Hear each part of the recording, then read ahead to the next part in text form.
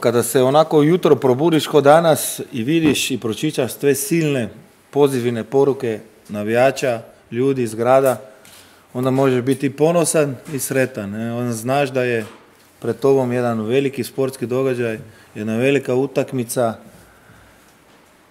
i uz svo, svu pisanje i priču sada u zadnje vrijeme, mi znamo da nam dolazi protivnik kojeg moramo respektirati, koga poštujemo, ali koji tera u nama motiv, strašan motiv, veliki inat i sigurno da možemo samo sa velikim samopouzdanjem, sa izuzetnom hrabrošću, ali sa puno pameti doći do našeg cilja, to je pozitivan rezultat.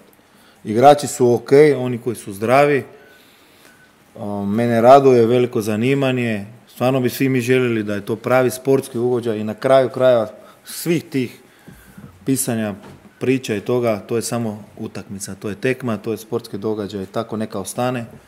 Naši navijači će biti sigurno nama velika, velika pozitivna energija, ali rekao sam, na igračima je sada, na svima nama, da opravdamo to veliko, veliko povjerenje koga imamo u gradu, koga imamo u regiji. U glavi mi je riješeno više manje sve, pitanje je sada da li Martić ili Vešović na lijevoj strani i na desnoj strani onda rješenje u Černicu, u Mateju ili u Bezjaku. Čanađija izuzetno dobro izgleda zadnjih par tjedana sa pozitivnom energijom, sa, sa nekom onako željom, voljom i tu uopšte, uopšte mi ne bi bio problem i uopšte mi nije problem. U dobroj su, pozitivnoj su seriji i, i oni i mi i normalno je da, a šta da sada, da, da se tresu, da se, mislim da je to uh, posle ovakve serije mogu biti, ali na kraju kraja čuli ste i Marija šta je rekao. Mi jedva čekamo da počne sve skupa, jer je to utakmica koja, za koju trenira, za koju živi, za koju radiš i ja sam rekao kad se probudiš ujutro, kad vidiš te silna pozitivnu energiju u gradu, u regiji, ma kome je ljepše? Mislim, to je, to je nešto što te može, može napraviti sretnim i zadovoljnim da si u tom poslu. Tako da, opet na kraju, ovo je samo nogometna utakmica, ništa drugo. Tako da, ja želim da to tako i ostane, da, da sve bude u, ok, u, u granicama onog dozvoljenog i da to bude stvarno utakmica u kojoj će se pričati. 30 bodova je još sa ovom utakmicom je 30 bodova u opticaju i tu donositi neke zaključke ili, ili da sada nešto presudno će se dogoditi, ne, ali utakmica koja ima značaj psihološko izuzetno velik, ali derbi je, o derbiju se priča, o derbijama se govori, a čekaju naš još svi protivnici iz lige, pa tako stvarno razmišljamo samo o jednoj toj utakmici, a nikako kao o nekom završnom činu prvenstva. Svako nepoštovanje, svako podcjenjivanje protivnika u sportu, bilo kojem sportu, kad tad se ti obije u glavu.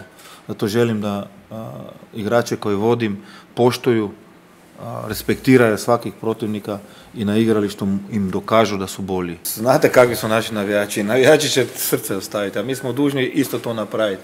I kako govori e, Mario, nama je samo izaći van hrabro, odgovorno, agresivno, razmišljati o kvaliteti naše igre, jer do sada je Rijeka dobivala samo sa kvalitetom igre.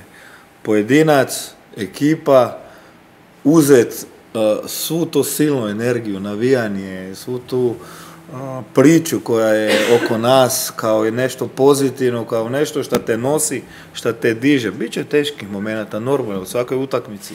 E onda moraš crpiti energiju iz te silne mase koja stoji iza nas. I to što se danas dogodilo u gradu, pa ne događa se to svaki dan. Oni su to sprovocirali i stvarno je velik kompliment imaju od trenera, jer tu nema foliranja. To je čistog srca, to je otvorenog srca. Tu nema onako nešto skrivanje ili, kako sam rekao, fola. Meni je važno samo da, da mi ne napravimo ništa tako što bi dalo nekom povod e, za, za koje odluke koje bi se onda prepričavale. I siguran sam e, da će sudac biti najmanji problem ovog derbija. Svaki igrač trenira svaki dan jako zbog ovakvih utakmica i mi se radujemo stvarno jako punoj Rujevici. E, samouvjereni smo u naše e, kvalitete, poštujemo našeg protivnika, ali ovdje kući idemo ponovo po, po jednu kvalitetnu utakmicu i da odigramo e, ponovo pred našim navijačima dobro i pokušamo da odnesemo jedan dobar rezultat kući. Znamo dobro našeg protivnika, e, znamo da su digli kvalitetu u ovoj novoj godini igre, ali mi znamo i naše kvalitete i, e, ko što sam rekao malo prije, poštovati da, ali bojati sigurno ne. Mi ćemo ući sa, sa istim mentalitetom utakmicu kao u svakoj drugoj koju smo igrali ovdje na Rujevici pa i vani i želimo ponovo pokušati pobijediti pred našim navijačima. Neće ova utakmica odlučiti prvaka, e, ali e, znamo da može biti e, sa pobjedom na našoj strani jedan vrlo važan korak prema, prema našem cilju.